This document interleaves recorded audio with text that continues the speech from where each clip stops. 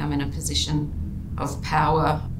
I don't usually like to use that term, but compared to what my ancestors and my grandparents had to deal with, I think I'm in a really great position to talk about their history and my history.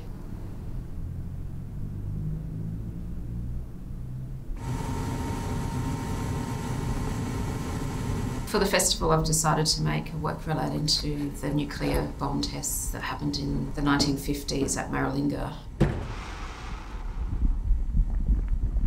A lot of the bomb clouds had travelled across Kokatha country, which is my grandfather's country, or my country. When I first started my research relating to Maralinga, what I found was a lot of people didn't know about it. I found that really interesting because it wasn't that long ago that those tests happened. I wanted to create a large scale work that spoke about one of those bomb clouds.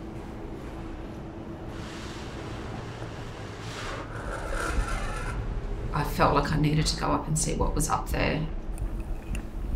I am aware that there were quite a large number of bombs that were tested. I felt quite uneasy at the breakaway bomb site. That particular bomb blast turned the, the surrounding dirt into glass. So it seemed fitting that I'll be making the cloud out of glass yams.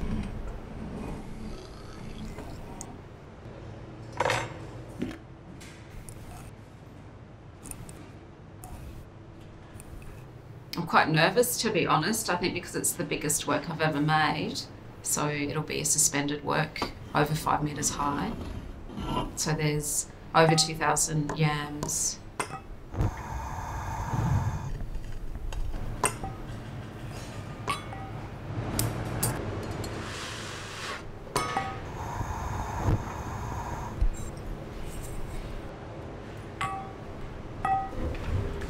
What is there?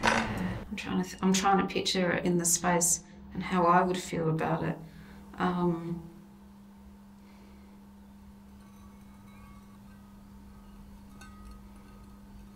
I think the fact that I can make the yams out of my own breath, I find it empowering.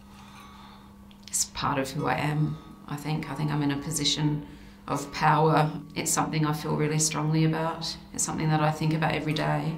I'm quite proud that I'm able to tell my grandparents' story through my artwork.